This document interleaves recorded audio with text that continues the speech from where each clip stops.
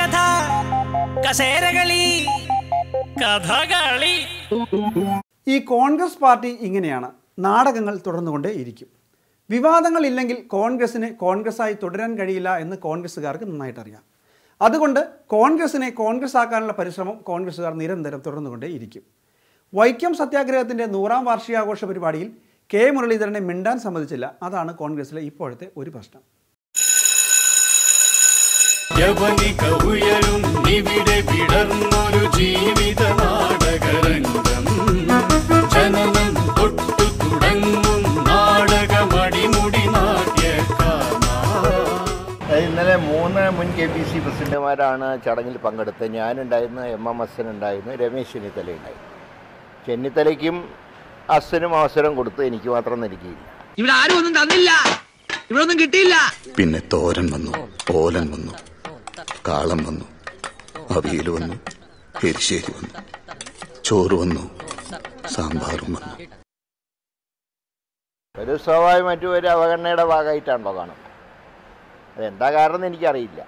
ഒരു സംശയം വേണം മുരളീധരനെ വിളിക്കാത്ത മോശമായി ഇപ്പം വിളിക്കണമായിരുന്നു. തരൂരിനെ വിളിക്കണമായിരുന്നു.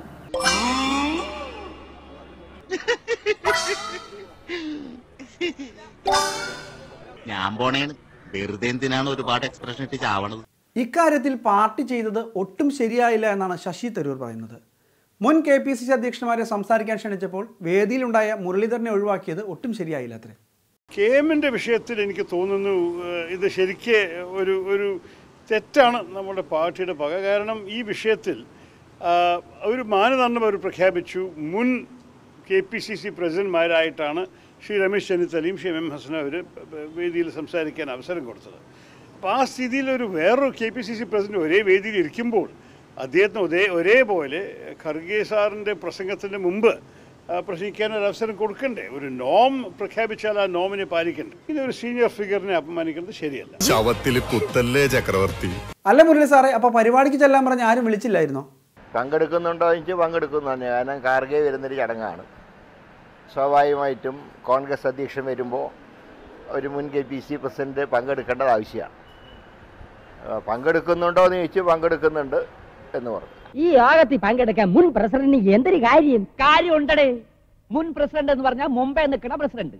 നിന്നേക്കാൾ മുമ്പേ നിൽക്കുന്ന പ്രസിഡന്റാണ് ഞാൻ. നാല് വാക്ക് സംസാരിക്കാൻ അവസരം കൊടുക്കാത്തത് പോട്ടെ. ആ വീക്ഷണ സപ്ലിമെന്റിൽ പേരെങ്കിലും വയ്ക്കാമായിരുന്നു എന്തായാലും ഇത്രയൊക്കെ തേച്ചൊട്ടിച്ച സ്ഥിതിക്ക് സ്വരം നന്നായിരിക്കുമ്പോൾ തന്നെ പാട്ട് നിർത്തിയാലോ എന്ന ആലോചനയിലാണ് മുരളീധരൻ. പണ്ട് സ്വരം നന്നായിരുന്നപ്പോൾ ഒരു തവണ പാട്ട് നിർത്തിയ ആളാണ് മുരളി. പിന്നെ സ്വരം അല്പം മോശമായപ്പോൾ പാടാൻ വീണ്ടും വന്നു എന്ന് മാത്രം. ഭീഷണത്തിന്റെ സപ്ലിമെന്റ് കണ്ടപ്പോഴേ എന്റെ പേരില്ല. ഒഴിവാക്കി കളഞ്ഞല്ലേ ഒരു ബോധപൂർവം മാറ്റി നിർത്തിയതാണ്. അപ്പോൾ ഞാൻ ഒരു കാര്യം പറഞ്ഞു. സ്വരം നന്നാവുമ്പോൾ തന്നെ പാട്ട് നിർത്താൻ ഞാൻ തയ്യാറാണ്. അങ്ങനെ ചെയ്യുന്നവർക്ക് കോൺഗ്രസ് നിൽക്കാൻ തന്നെ യോഗ്യതയില്ല. ഞാൻ ബേസിക്കലായിട്ട് പറയാൻ ആഗ്രഹിക്കുന്നു. അങ്ങനെ അങ്ങനെ ചെയ്യുന്നവർക്ക് ആരായാലും എത്ര വലിയ ഉന്നതനായാലും.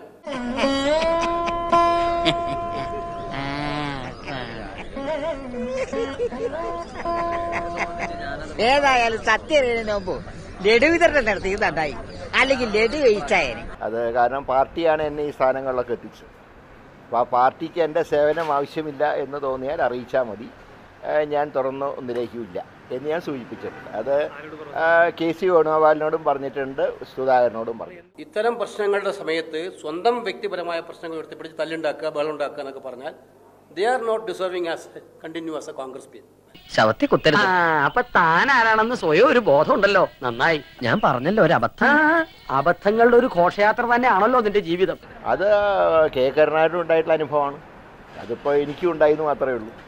അത് നോക്കുമ്പോൾ ഞാനൊന്നും അല്ലല്ലോ. കെ കരുണാകരന്റെ ശ്രാദ്ധം നടക്കുമ്പോൾ മകൻ ഷാർജയിൽ പല്ലലിച്ച് നിൽക്കുന്ന ചിത്രമാണിത് പിണറായി വിജയനോടൊപ്പം. എങ്ങനെ ഒരു കോൺഗ്രസ്സുകാരന് സഹിക്കാൻ പറ്റും? അല്ല മുരളി സാറേ ഇനി സമയക്കുറവ് കൊണ്ടെങ്ങാൻ? അതെ അപ്പോൾ അത് എന്താണ്? ഒരു മുൻ കെ പി സി പ്രസിഡന്റ് മാത്രം സമയത്തിന്റെ കുറവ്. രണ്ട് മുൻ പ്രസിഡന്റുമാർക്ക് സമയത്തിന് കുഴപ്പമുണ്ടായില്ലല്ലോ. എല്ലാവരും ധാരാളം പ്രസംഗിക്കുകയും ചെയ്തു. ഇല്ല അതിപ്പോൾ ഒരാൾ ഒഴിഞ്ഞാൽ അത്രയും സുഖമെന്ന് കരുതുന്നവരോട് പറഞ്ഞിട്ട് എന്താ കാര്യം? അല്ല അത് നേതൃത്വം എടുത്ത തീരുമാനമാണല്ലോ. അവരാണല്ലോ തീരുമാനിച്ചത്. അവരോട് ചോദിച്ചാൽ ഉത്തരം കിട്ടും. എന്നോട് എന്നോട് ചോദിച്ചിട്ട് എന്നോട് ചോദിച്ചറിയോ എന്താ ചിരിക്കാൻ? ഇവിടെ ആരെങ്കിലും നിൽക്കുന്നുണ്ടോ? നിങ്ങൾ ഇത് ഇപ്പോൾ നമ്മുടെ K P C C meeting കൂടിക്കൊണ്ടിരിക്കുകയാണ് അത് കഴിയുമ്പോൾ K P C C president നിങ്ങളെ കാണും. സംഘടനാപരമായ എല്ലാ കാര്യങ്ങളും കെ പി സി സി പ്രസിഡന്റിനോട് ചോദിക്കാം. അതിപ്പോ ഈ കച്ചേരി നിർത്തിയവരോട് വീണ്ടും പാട്ട് പാടുമെന്ന് ചോദിക്കുന്ന പോലെയാണ് അല്ല ഞാൻ പറഞ്ഞല്ലോ നേതൃത്വം എല്ലാവരും ഉൾക്കൊള്ളണം. അങ്ങനെ മാത്രമേ കോൺഗ്രസ് പോകാൻ പറ്റൂ. കലക്റ്റീവ് ലീഡർഷിപ്പാണ് ആ കലക്റ്റീവ് ലീഡർഷിപ്പ് പറഞ്ഞാൽ എല്ലാവരും ഉൾക്കൊള്ളുന്നതായിരിക്കണം ലീഡർഷിപ്പ് അങ്ങനെ കോൺഗ്രസിന് ഗുണപരമായ മാറ്റം ഉണ്ടാക്കാൻ സാധിക്കുമെന്ന് വിശ്വസിക്കുന്ന ആളാണ്. അത് നേതൃത്വം ആലോചിക്കട്ടെ. എന്തായാലും ആർക്കും ഒരു ബാധ്യതയായി പാർട്ടിയിൽ കടിച്ചു തൂങ്ങാനൊന്നും മുരളീധരന് പദ്ധതിയില്ല. പാർട്ടി മത്സരിക്കാൻ പറഞ്ഞു മത്സരിച്ചു. നല്ല രീതിയിൽ ഇതുവരെയൊക്കെ കൊണ്ടുപോയി. ഇനി പുതിയൊരാൾ മത്സരിക്കാൻ വന്നാൽ ജയിക്കാനുള്ള സാഹചര്യമൊക്കെ മണ്ഡലത്തിൽ ഉണ്ടാക്കിയിട്ടുണ്ട്.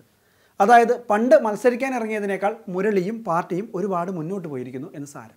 പാർട്ടിക്ക് ഒരു ബാധ്യതയാണ് എന്നൊക്കെ ചിലർ പറയുന്ന സാഹചര്യത്തിൽ ഞാൻ അഭിപ്രായം പറയുന്നില്ല.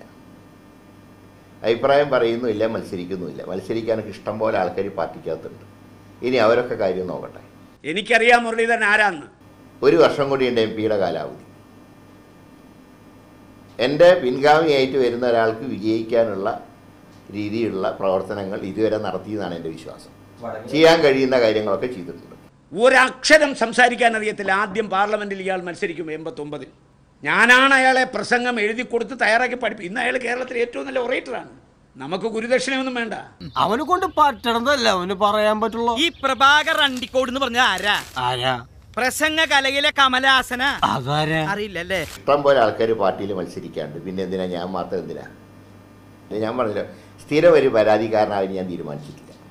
അഹമ്മദ് പട്ടേലിനെ അലുമിനിയം പട്ടേൽ എന്ന് വിളിച്ചിട്ട് അവിടെ പോയി അദ്ദേഹത്തിന്റെ കാൽ പിടിച്ചാരാ? തന്റെ നിലനിൽപ്പ് അപകടത്തിലായി ആണെന്ന് കണ്ടാൽ അദ്ദേഹം ആരുടെയും കാൽ പിടിക്കും.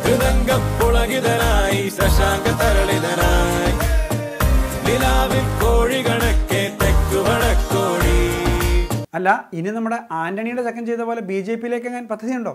അതിന് ബി ജെ പിയെ പോലല്ല പരിഹാരം. അടങ്ങി ഒതുങ്ങി വീട്ടിലിരിക്കലാണ് പരിഹാരം. അതൊരു കോൺഗ്രസ്സുകാരനായി തന്നെ ഇരിക്കും.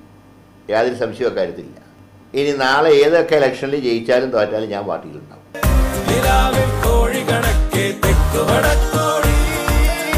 നാല് തവണ ജനങ്ങളാ തിരഞ്ഞെടുത്തു രണ്ട് തവണ നിയമസഭയിലേക്ക് തിരഞ്ഞെടുത്തു. വിമർശിക്കുന്ന ചില ആൾക്കാരൊക്കെ പഞ്ചായത്തിൽ പോയി ജയിക്കാത്തവരാണ് അതുകൊണ്ട് അവരെ സർട്ടിഫിക്കറ്റ് എനിക്ക് ആവശ്യമില്ല. നമ്മളെയാണല്ലോ മച്ചമ്പി. പാർലമെന്റ് നടക്കുന്ന സമയത്ത് തന്നെ ഒരു യോഗം വെച്ച് എം പിമാരെ തെറി പറയാനാണെങ്കിൽ ഞങ്ങളൊക്കെ പാർട്ടി കാരണമാണ് മത്സരിക്കാൻ പറ്റിയത്. പക്ഷേ ജനങ്ങളുടെ അംഗീകാരം കൂടെ വേണം ജയിക്കാൻ.